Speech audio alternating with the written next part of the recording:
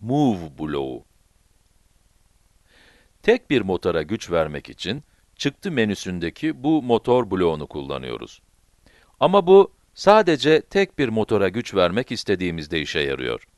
Eğer üstünde birden çok motor bulunan bir araç yapıyorsak, mesela A ve B'ye birer motor takmak istiyorsak, ortak menü altındaki Move bloğunu kullanmamız gerek.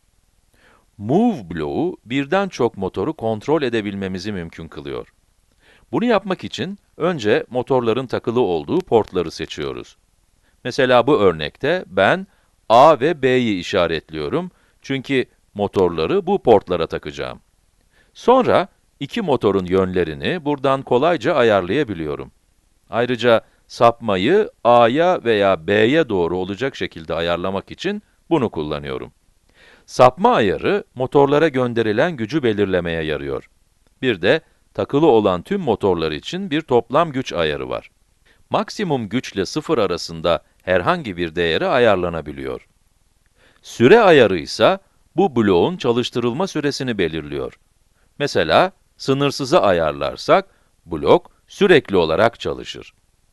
Bu durumda bir döngü kullanmamıza bile gerek yok. Ayrıca bazı ince ayarlar da yapabiliyoruz. Mesela, motorlarımın 5 derece dönmesini istiyorum diyebiliyoruz.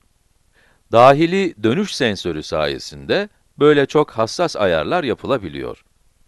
Bu ayarı devir sayısı cinsinden de yapabiliyoruz. Mesela, motorları 3 devir dönmeye ayarlayabiliyoruz. İşte.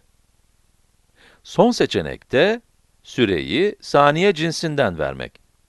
Mesela, motorların 2,5 saniye boyunca çalışmasını sağlayabiliyoruz.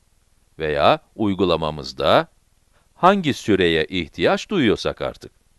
Son ayarsa, bir sonraki eylem ayarı.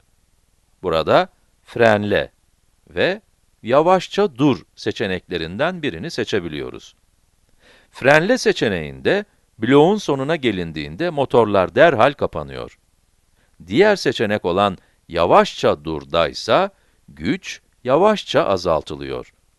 Böylece tepki daha yumuşak oluyor. İşte, birden çok motoru böyle yönetiyoruz. Tek motor için de aynı şeyler geçerli gerçi. Tek motorda da tüm ayarlar aynı. Yalnız tek bir porta uygulanıyor, o kadar.